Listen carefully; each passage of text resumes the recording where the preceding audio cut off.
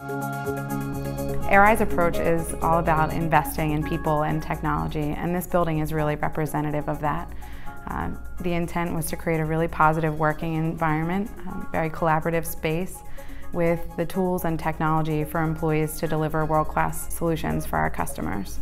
When I think about how ARI's investment in the facility relates to the call center team, I think about uh, two unique things. The first one is employee morale and how the facility's design and layout uh, really lend itself to creating a positive work environment for the employees. And in a demanding job such as a call center job, providing things like light and collaborative space are critical to keeping people happy. Uh, and the second thing is technology and the integration of technology and data in support of employee behavior.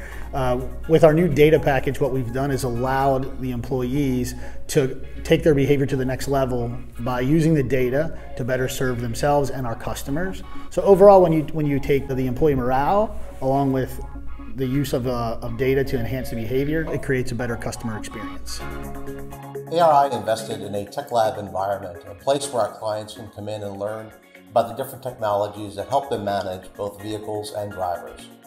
This room is really a space that's intended for our customers to interact with the latest technologies, really see how things work, ask questions, and at the end of the day, understand how these technologies would impact their fleets. We host different technologies in the uh, tech lab.